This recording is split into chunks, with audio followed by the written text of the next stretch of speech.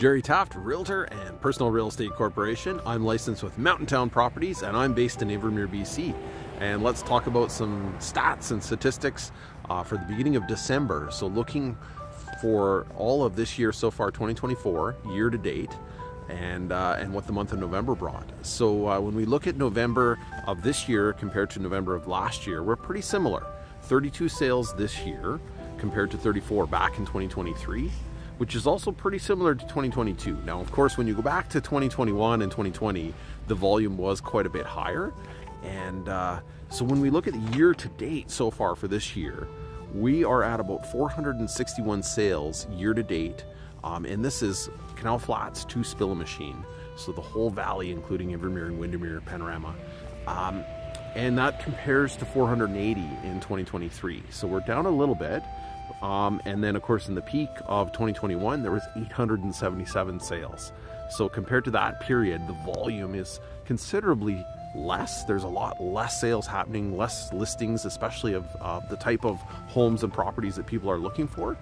And uh, but what's interesting is prices really have not gone down. They've actually um, you know, they kept going up through that period of 2021, 2022, 2023, and they have maybe reached a point of uh, sort of being at a flat, um, but we really have not seen prices go down, um, which is not something that other regions of Canada can really say.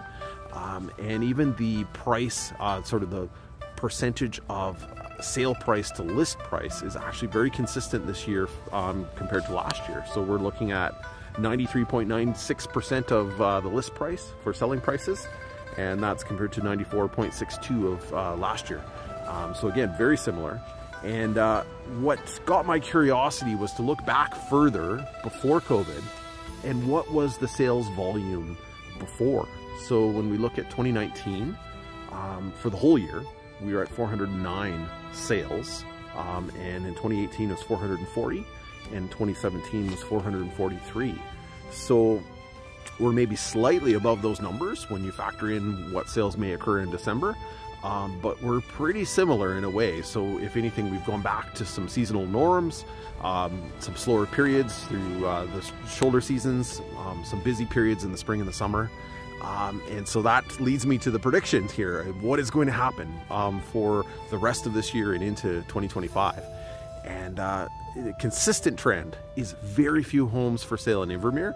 And uh, we're, we don't have a lot of inventory, especially for the nicer homes, um, the Castle Rock and the newer stuff, even Lakeview Meadows, uh, cabins in Windermere, Timberidge. All of that is very, very low selection. And what we're actually have uh, very little homes in that sort of 700,000 to million price range.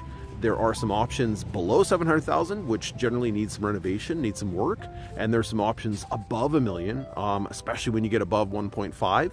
Um, it is a lot slower. There's not that many of those homes selling, um, and so it's an interesting uh, market to kind of see that some of the stuff uh, below 600,000 is slow, and the stuff over a million is slow. But there is a sweet spot in between, um, which is what a lot of people are looking for, and that is both for full-time families moving here, but also in some cases for second homes and people looking for a cabin. So it's uh, very interesting to see these trends.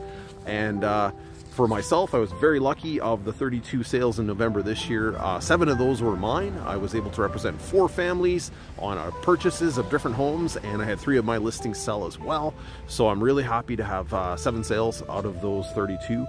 And uh, if you're looking for any advice, you're thinking about listing in the spring, um, if you want to uh, connect, I'd be more than happy to have a conversation and, and talk to about real estate in the valley. Thank you very much.